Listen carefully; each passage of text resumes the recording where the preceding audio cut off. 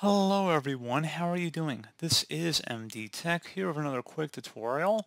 In today's tutorial, I'm going to show you how to resolve if you're coming across an error message that the requested pause, continue, or stop is not valid for this service. And it might say this for the DNS cache, Win Management, or Trusted Installer.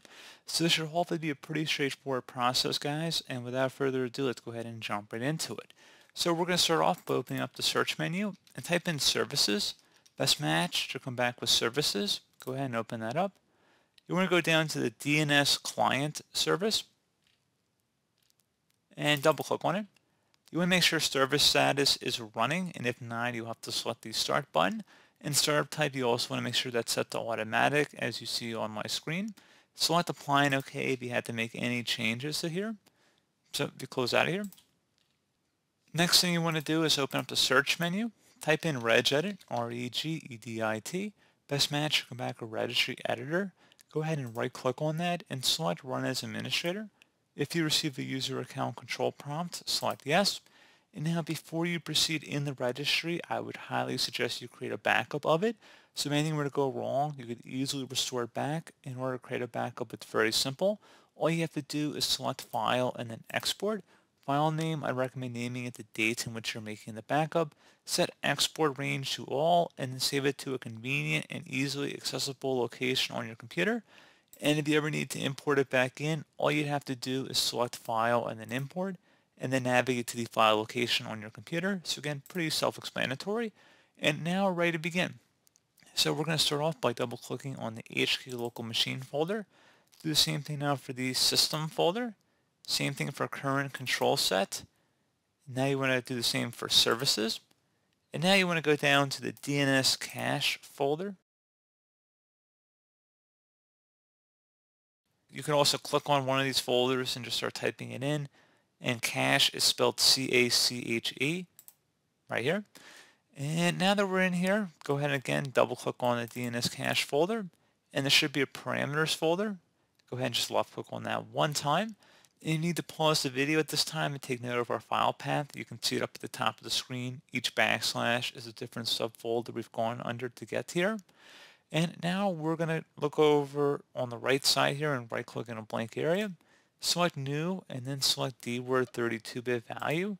You want to name this value max cache C-A-C-H-E and then TTL First T should be capitalized, followed by a lowercase t and then an L.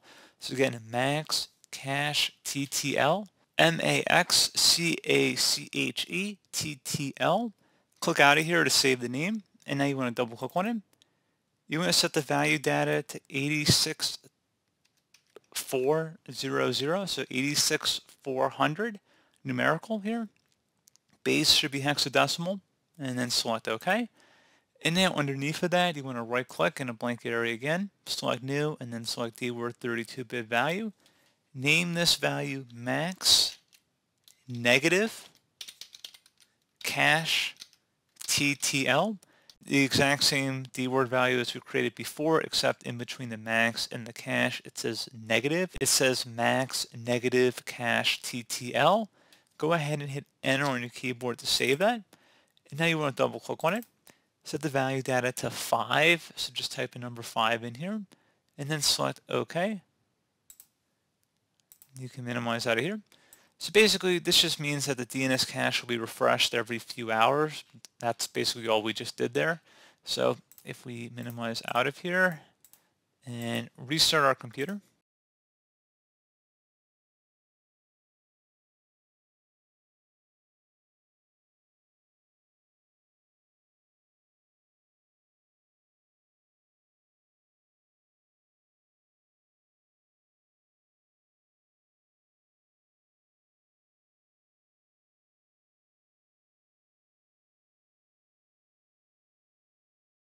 And then hopefully at this point, if you attempt to run whatever command you're having the issue with before, hopefully the issue has been resolved. You can do one further step as well and just flush the DNS cache.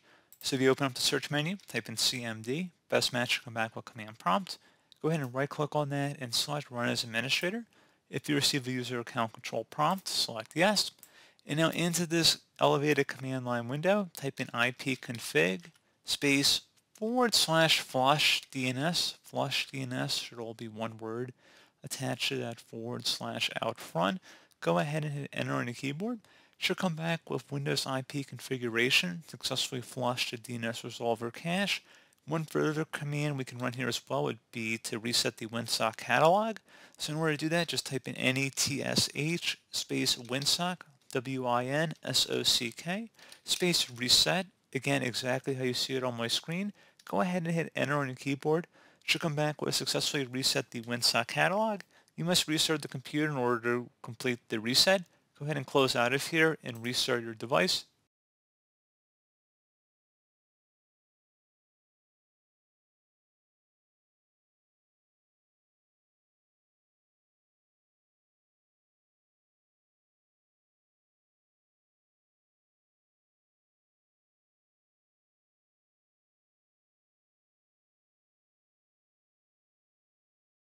And there you go, guys. Hopefully I was able to resolve your problem. And as always, thank you for watching. Do hope I was able to help you out, and I do look forward to catching you all in the next tutorial. Goodbye.